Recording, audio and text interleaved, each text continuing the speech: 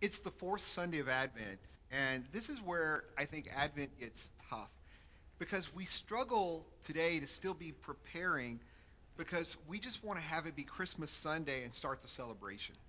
But there is this one last Sunday of preparation. There was one last candle to light.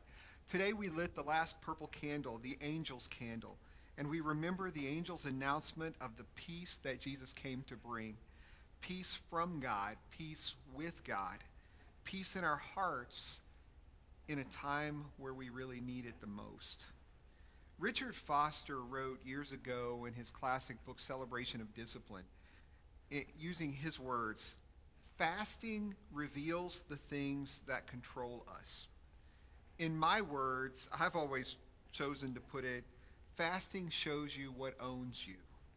I mean, if we think about it, you know, we don't really have to think that much about food you eat what you want for most of us, kind of when we want. But then if we have a situation where we go 24 hours without food, suddenly we will find out how important food is to us. I always like the old Warner Brothers cartoons when you got a couple of hungry guys stranded somewhere and they start looking at each other and hallucinating each that the other is food you know, not many of us still practice fasting as a spiritual discipline these days, except maybe some in some way during Lent. But maybe we can just think about some time when we had to go without food for 12 hours because of some medical thing that we had to do. Um, or if we had to make major changes in our diet for some medical reason, or suddenly in a situation like that where we had to give up something that we have loved for a very long time but suddenly for medical reasons it just has to be gone and and we can know what a struggle that can be. And we also know how good something can look when suddenly you just cannot have it.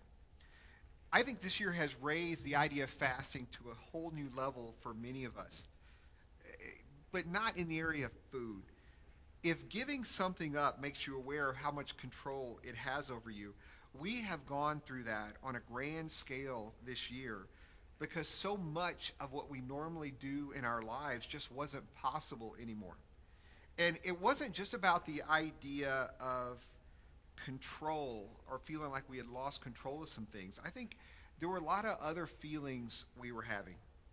We began to struggle at different times in this year with depression, loneliness, discouragement, frustration, maybe we realized that there are a lot of things that we manage to avoid emotionally normally just because we're so busy and we're always in motion. But suddenly those things were right there in our face. Struggles became harder to ignore.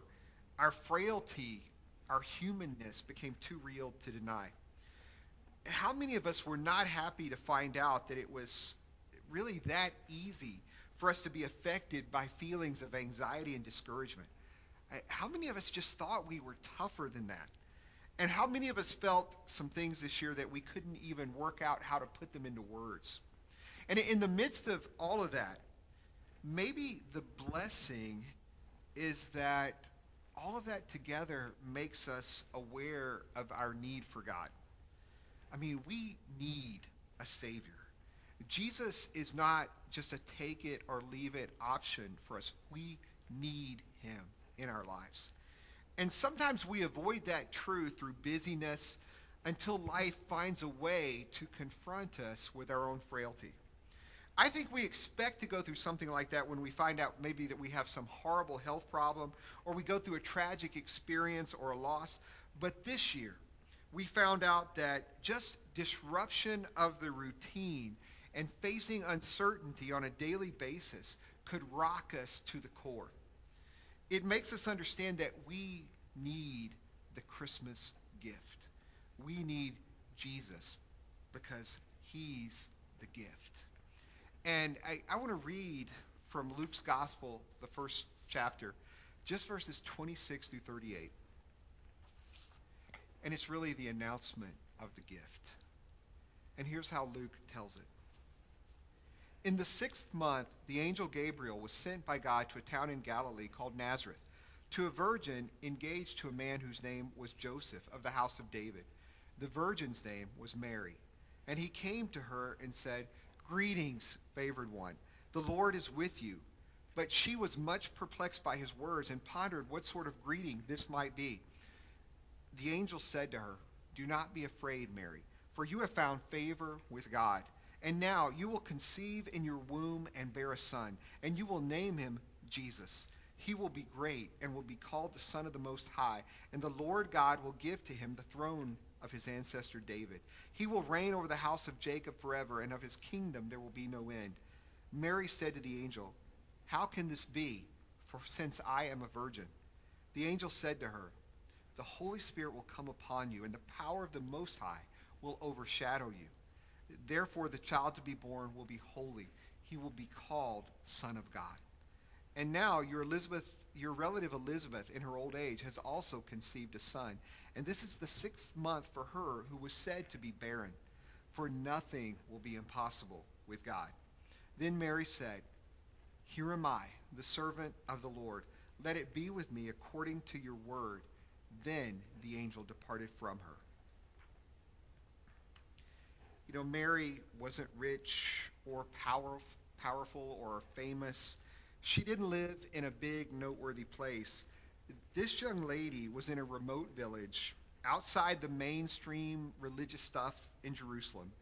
And when she is addressed as favored one and told the Lord is with her, we can kind of understand her confusion.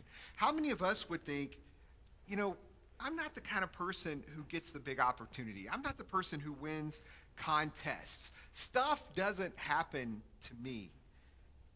But here we're shown God can move anywhere and God can use anyone. And that's good news in and of itself. She is told that she will experience the impossible. And of course, she doesn't understand. She is told the Holy Spirit will do it, that she will, as a virgin, bear the Son of God because God is on the move. And it's already happening. Her cousin is, is the example that God is in motion. Her cousin is far beyond childbearing age, and she's already six months pregnant. God is moving, and nothing is impossible with God because he's already gone from the impossible with Mary's cousin to the even more impossible that he's going to do with Mary. And Mary knows this will not be easy.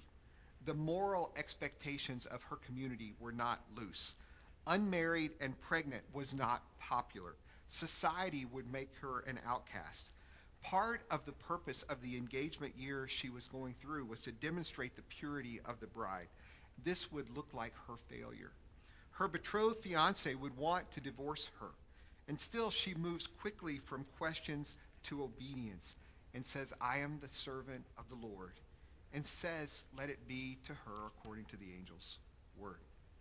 I, I think we can understand the questioning Mary. God calls us to do something, and we say, I don't have the resources. I am not in the right place for that.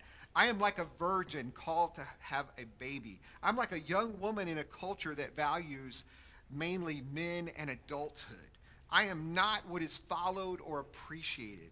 And like Mary, we just would want to be tempted to say, God, I'm sure you can find someone more qualified.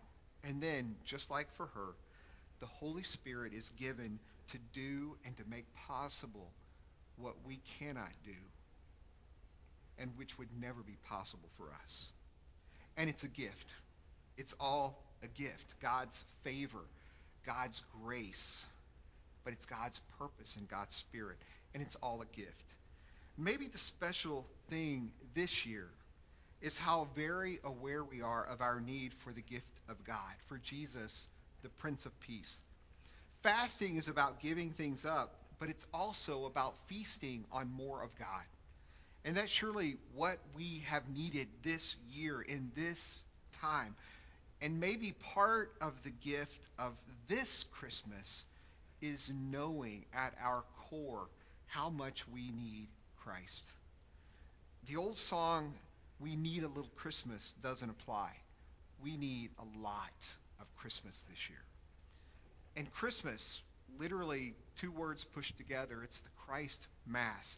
The communion that remembers on the day we celebrate Jesus' birth that this gift is the gift of our Lord who loves us, who died for us, and by his blood makes us clean, and by his resurrected life makes us whole. We need to experience that deeply this year. In Luke chapter 1, verse 47 through 55, just a little bit longer, or a little bit later in the chapter than where we were reading, we're told that Mary sang a song of praise for what God had done for her. In verse 53, she sings, He has filled the hungry with good things and sent the rich away empty. And Mary's song is really a powerful song of faith because it sings of future things in the past tense. And it's really, wow, what a powerful demonstration of faith when you can say that God has done what he will do. You know, it's certainly believing beyond what we can see. But I read that verse and wonder maybe if the tendency to see it in a punishment kind of way is a mistake. What if it's about getting what we really need? What if the hungry will need to experience God's grace to find their needs met by his ability to provide? But what if the rich need to let go and find themselves with less so that they can discover his presence too?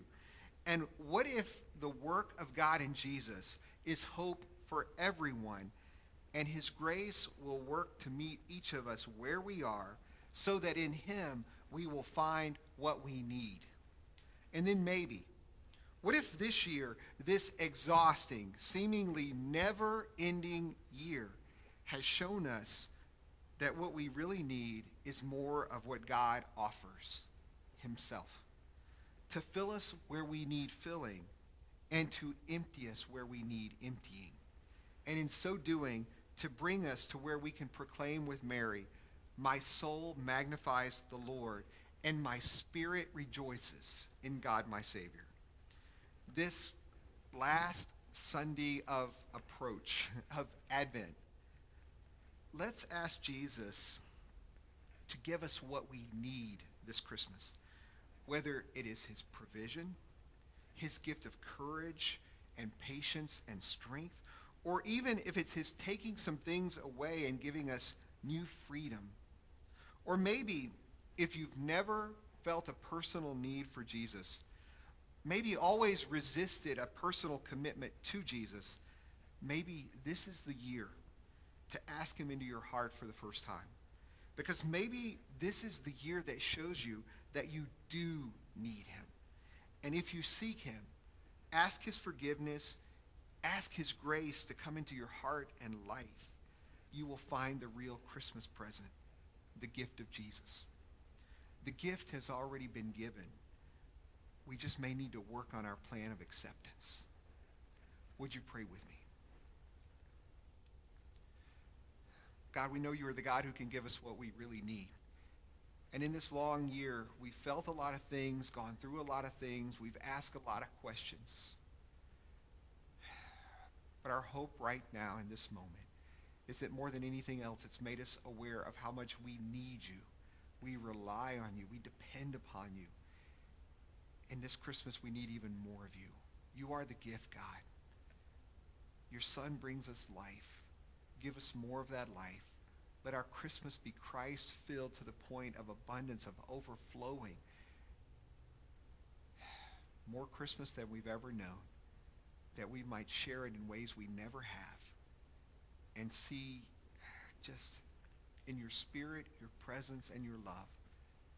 We just want to see more than we've seen in the past. More of your grace, more of your love, more of your presence. And if anyone out there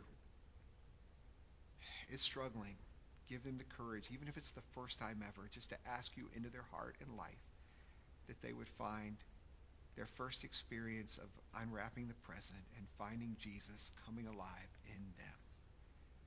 We will trust you. We will keep loving you. Help us to celebrate you even as we seek more of you. We pray in Jesus' name. Amen.